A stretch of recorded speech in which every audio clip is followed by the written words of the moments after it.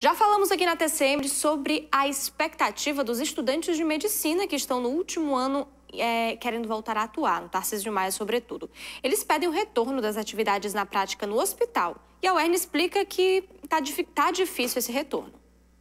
Com a suspensão das aulas presenciais devido à pandemia, os 26 estudantes de medicina, no último ano de faculdade, também tiveram a prática do internato interrompida. Essa prática do curso de medicina chamado internato, ela coloca os alunos nos hospitais, fazendo trabalho prático, acompanhando o serviço e dando agilidade ao serviço. Essa prática é muito importante para a sociedade, uma vez que é, a universidade forma profissionais para atuarem na linha de frente, e isso acaba sendo um ato nobre da universidade e essencial. Os estudantes disseram que entraram em contato com um conselho aqui do curso de medicina. E o conselho afirmou em nota que essa retomada agora das atividades seria inviável porque faltava até os EPIs, que são os equipamentos de segurança. E aí o que, que aconteceu?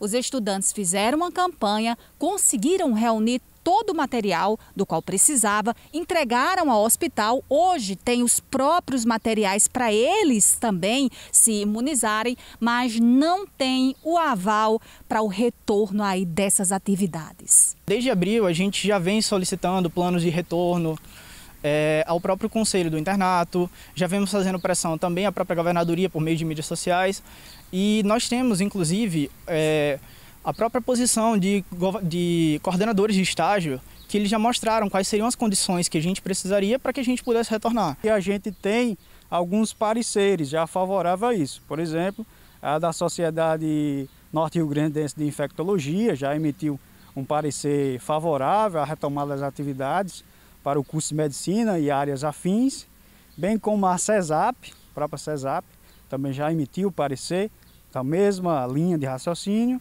Os estudantes estão há quatro meses parados. A formatura, que deveria acontecer no mês de dezembro, provavelmente será adiada. Mas, por hora, o que eles querem mesmo é contribuir durante este momento de pandemia.